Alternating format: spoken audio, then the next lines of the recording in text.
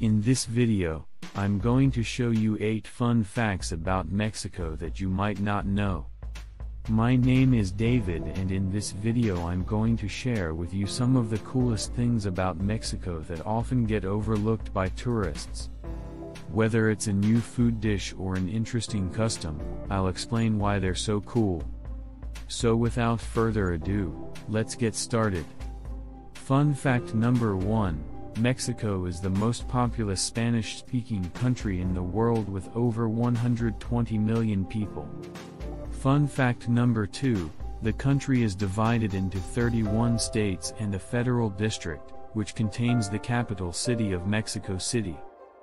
Fun fact number 3 Mexico City is one of the largest cities in the world with over 20 million people. Fun fact number 4 The Mexican flag features an eagle perched on a cactus eating a snake.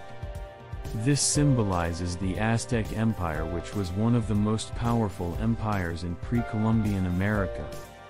Fun fact number 5 Tequila is a type of mezcal that is made from blue agave plants.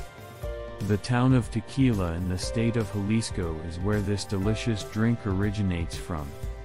Fun fact number 6 The Day of the Dead is a holiday celebrated in Mexico to remember loved ones who have passed away. This holiday is full of color, music, and food. Fun fact number 7 Frida Kahlo was a famous Mexican artist who painted many self-portraits. Her art is still popular today and can be seen in museums all over the world. Fun fact number 8 Mexico is home to some of the best beaches in the world. Playa del Carmen and Cancun are two of the most popular destinations for tourists. I hope you enjoyed learning about some of the fun facts about Mexico. If you're ever in the country, be sure to check out some of the places and try the food I mentioned. Thanks for watching.